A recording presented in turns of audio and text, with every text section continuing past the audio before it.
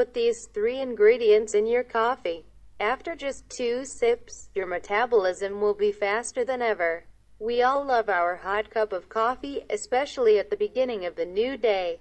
Yet, not all of you are aware that its consumption also brings various health benefits. It can boost your metabolism and give you more energy for the day. Also, only a few know that you can transform your favorite morning brew into a metabolism booster and a potent fat burner.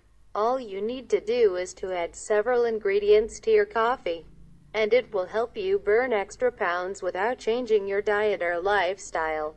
These three mighty ingredients include 1. Coconut oil is a real natural miracle which has a wide range of uses.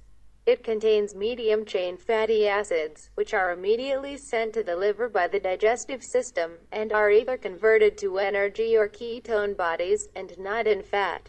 It sets the metabolism to burn fat faster and more efficiently. The burning process of fats is significantly affected by minerals and vitamins, so honey can be of great help, as this gift of nature contains them in high amounts and prevents any mineral or vitamin deficiencies. 2.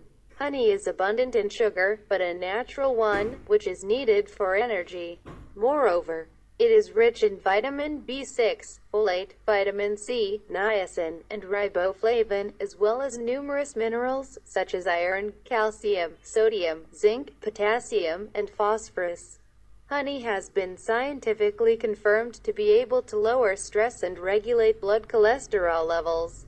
Use raw honey only. 3. Cinnamon is an extremely beneficial anti-inflammatory agent which fights inflammation in the body, and due to its antioxidant properties, neutralizes the damage caused by free radicals.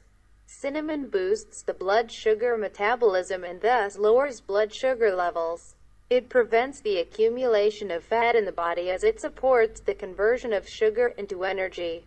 The best cinnamon types are Ceylon and Cassia. Here is how to use these remarkable natural ingredients and boost your metabolism while drinking your coffee. Ingredients 3 quarters cup of coconut oil, half a tablespoon of honey, 1 teaspoon of cinnamon, 1 teaspoon of cocoa. Optional instructions Mix these ingredients together in a glass jar and store it in the fridge. Use Every morning, you should add a teaspoon or two of the mixture to your freshly brewed coffee. Stir well and drink it. Enjoy.